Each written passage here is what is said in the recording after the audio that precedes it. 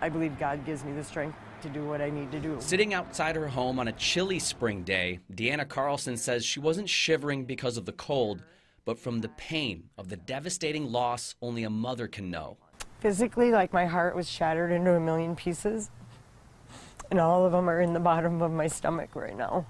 Her heart belonged to her children. Josiah, an upstart handyman, He told me his goal was to be a foreman in the first two years with the company. and Cassie. We, you know, we always called her Sassy Cassie because she was a free spirit and she didn't care what anybody thought. Carlson says the two siblings had a close bond. Late Saturday night, she says Cassie went to pick up Josiah from a friend's house to be his safe ride home, but they never made it.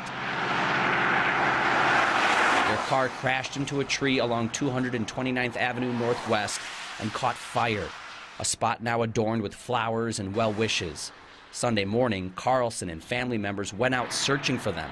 I was afraid to come home. Her fears came true when she got back. There was four official cars in my driveway.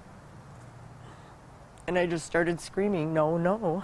The next 24 hours would be filled with tears, confusion, but also hope. There has to be something that beautiful that's going to come out of this. I just know it has to be that way. So far, it's been through her children's friends who've stopped by to share stories about two loving people known for helping others through tough times. Made all the difference in the world to some of these kids around here. I had no idea that they affected people like that. An impact that will live on not just in Carlson's family, Right. but so many others. I believe that. I really do.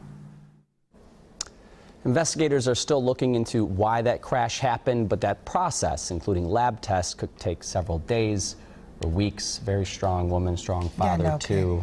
I can't believe Just what they're going through. heartbreaking. Mhm. Yeah. All right. Thank you, Jeff. Yep.